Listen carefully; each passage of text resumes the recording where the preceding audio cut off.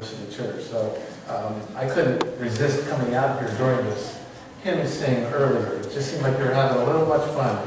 You know, fun I needed to be a part of. So, uh, but your testimonies, your sharing together has warmed my heart. I want you to know I feel a, a sense of God's presence here in you and how you've shared testimony of His love and His salvation and your prayer requests. I'd like to pray that God would speak through me and bless us today as we open His Word. Would you pause with me once more? God of heaven, it's with thanksgiving that we open your Word. Word of truth. Word that guides our lives in purpose, in message, in hope, in promise. And now we ask for your anointing upon us as we listen for the moving of your Spirit. We humbly ask in Jesus' name, amen. amen. Thank you, Lynn, and thank you, Jervis, for sharing today as well. Glenn McDonald writes from a book that he, a book that I love called The Disciple Making Church. Tells a story of how his parents, when they came to their 50th wedding anniversary, any, anybody past that season? Okay, 50th wedding anniversary, he invited his son and daughter-in-law to go on to a cruise with them. I've never done a cruise. People tell me I should do a cruise. Anyway, they went on a cruise together, and on the very first day, as they were getting situated there in the boat, their family was together, and, uh, and Glenn McDonald's mother said to him, Glenn, this is so exciting to have you with us for this celebration. And notice what it says here in the brochure. Tonight, no, tomorrow, we can have dinner with the captain. We can, we can get in line and shake his hand and, and get acquainted with the captain of the ship. Well, Pastor McDonald was, quite frankly, wanting a break from a lot of crowds and a lot of formality. And he thought to himself, how in the world am I going to get out of this one? Well, after an evening of overeating and, uh, you know, indulgence and, um, and some fun the, on the ship, it was great. They went to bed. And at 4.48 in the morning, there was an announcement over the entire ship from the captain. It said this. We are sorry to have to awaken you at this time because it seems like there are two men missing on board. We fear that one may have fallen overboard. And with that, of course, everyone was awake, and the captain insisted that anybody, anywhere on the ship, they must return to their cabin and that they could do a quick census of the entire ship. Well, here's a ship with 1,700 guests. 700 crew. 15 minutes later, John Garcia was found in a place on the ship where he was not supposed to be. But Eric Armstrong had not been found. And so the captain ordered that the ship turn around and head back to where they were. After two hours, the sun was coming up an announcement came over the ship again from the captain, and he said, We're so grateful that we found Mr. Armstrong. A U.S. Coast Guard airlift is taking him to safety. I mean, was, was this a, a senator? Was this the captain's son that got so much attention? Such a rescue? As the story unfolds, this Mr. Armstrong had had a little too much revelry that night and had been out on the bow of the ship doing that Titanic thing, you know, and did a Peter Pan right off the bow of the ship into the water. But fortunately, they were able to find him and take him back and, and, and rescue him.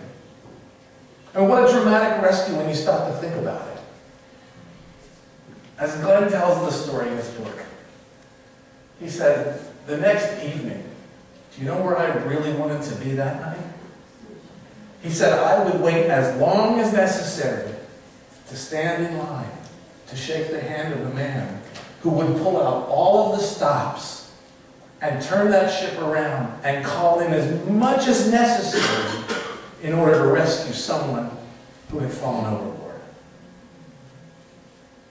What a picture of grace. What a picture of God's love.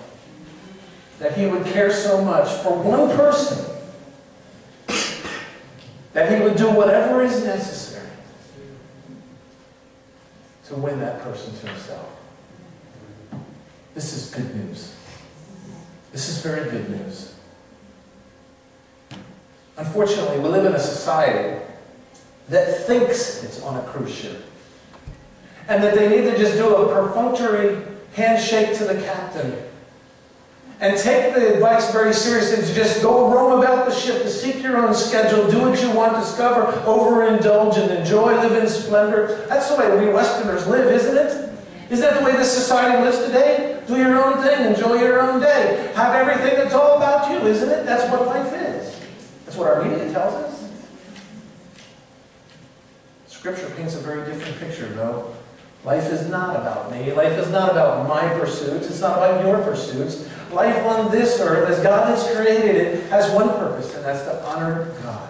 Mm-hmm. He's called us to honor Him with all our heart, with all our soul, with all our mind, and what? All our strength. That is what He's called us to do. That's what He's called us to be a part of. It is indeed about the captain. It's about the captain, Jesus. You know, Jesus talks about building His church. You recall the text. Don't turn to it. Write it down maybe. Matthew chapter 16.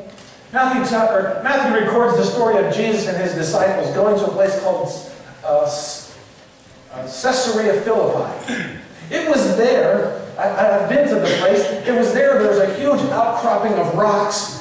And it's an amazing kind of place. And he takes his disciples near this point, no doubt. And it was there that he asked Peter, Who do men say that I am? And, he, and, and it was there that he said, uh, some say a prophet, some say Jonah, some say John the Baptist come back from the dead. And then Jesus said, well, who do you say that I am? And under the inspiration of the Holy Spirit, Peter said, you are the, you're Christ, the Son of the living God. And Jesus said, you're absolutely right, Peter. And I'm going to build my church. Those words are so important. He said, I'm going to build my church. And what? Say it. You know the verse? And the gates of hell will not prevail against it. The picture of the church as Jesus is creating and forming it, as the church moves forward in mission, and there's nothing that the darkness of hell can do anything about it. That the authority of the believer claimed in Christ, if obeyed and followed him, they can move wherever they need to go wherever there's a lost sinner and save them from purposes. It's God's will that the church be mobilized for his purposes. Jesus takes, makes a direct connection between his ministry as the Messiah and the ministry of his church. That the role of Christ is to save the sinner, but the role of the church is to go find them. Do you believe that today, folks? You see, the Christ is the message, but the fellowship of the believer is the method. Jesus is our hope, but a loving church brings this hope to the world. Jesus is our Redeemer, but forgiven people are called to be redemptive. Jesus is our high priest, and he's called you and I to be the priesthood of all believers to a broken world, to a sinner who lives near you or works next door to you someone you know, someone that you care about. God's great redemptive acts are written in His Word. When you think about the big signposts through history, God has enormous, big redemptive acts that He's done. The very first is that He had a plan from the very beginning that should the world go astray, He had a plan of salvation. Known from the foundations of the world. What does the scripture say in Revelation? The Lamb was slain from the foundation of the world. We know that before Adam was even created, there was, in case Adam would fail, a way of salvation. The greatest act of redemption was already in play, all ready to go if it happened.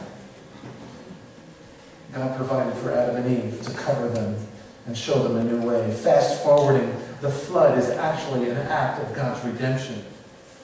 Of course, it's judgment too, but it was more about saving the planet than it was destroying the planet. The call of Abraham is an act of redemption. The Exodus and God's people before Sinai, building the tabernacle and understanding the way of salvation, the great gift of the message of salvation.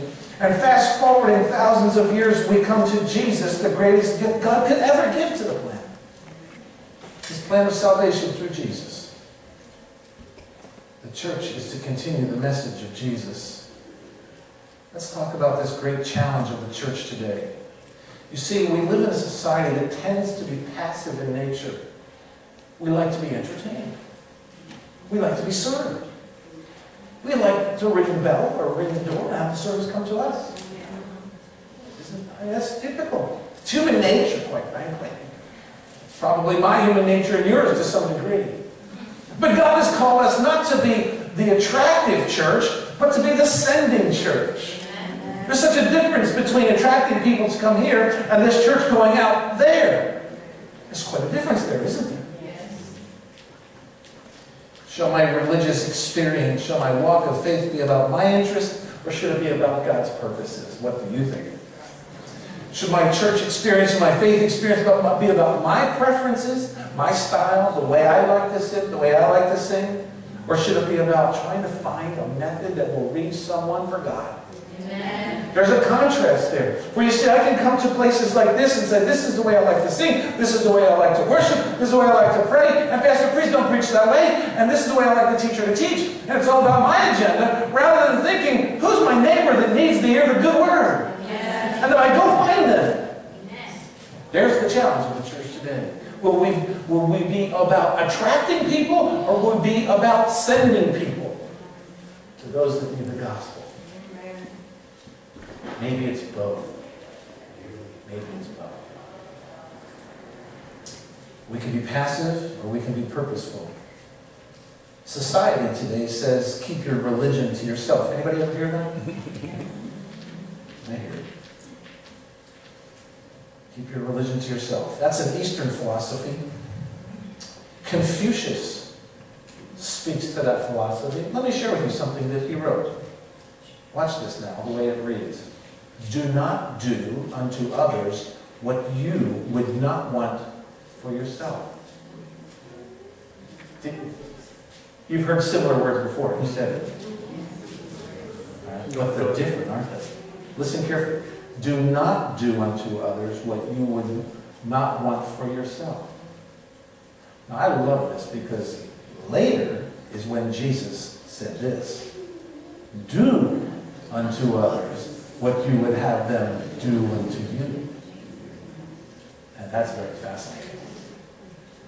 One is passive. It's about my world, my experience, making sure that I don't do to others that I don't do to others. But on the other hand, Jesus says, no, this is about mission. He said, do to others what you would have them do unto you. Well, what would you have others to do to you? Love you. Well, therefore, love them. It's about a choice within the believer to go show and do and give and share. The whole reality is flipped on its head, isn't it? This is an amazing truth. The difference between Christianity and all other religions. Christianity is a sending religion. It is a belief that God has called us into this world, into this community of faith, to go. Did he not say, Go therefore and do what? Make disciples of all nations, baptizing them in the name of the Father, Son, and Holy Spirit. Teach them to observe everything I've commanded you. Oh, wow, powerful words. Join me, please. Go to the Word with me now. I want you to see something very precious. 2 Timothy chapter 2, verse 1. We're not going to be long in the Word, but unless I get distracted. But let's go to 2 Timothy chapter 2, verse 1. I want you to hear, I want you to see what the Apostle Paul has to say about disciple making. You see, the Apostle Paul had a passion for sharing the gospel with others. He wanted to make sure that what that the gospel he shared with Timothy was going to someone else after him. I want you to watch this carefully. 2 Timothy chapter 2, verse 1. You ready to go there? All right, good. You can talk to me, church, okay? You can talk to me. It's okay. You might want to read chapter 1 later today, but I want you to go to chapter 2 for our time's sake. He writes, You then, my son, be strong in the grace that is in Christ Jesus. That sounds like words to Joshua, come going into the promised land. When he said, Be strong and be courageous. Paul is saying to Timothy, Be strong. Overcome your fears. Be strong, trust in the Lord is what he's saying. Watch this. In the grace that is in Christ Jesus. Friends, when you're in Christ Jesus, there can be nothing that can take you away from Him. Nothing can separate you from the love which is in Christ Jesus. If you're in Christ Jesus, the world may pass away, but you are solid in faith in Him. Your life may be facing illness or disease or separation or brokenness and who knows what, but if you're in Christ Jesus, nothing can be taken from you because it is a gift.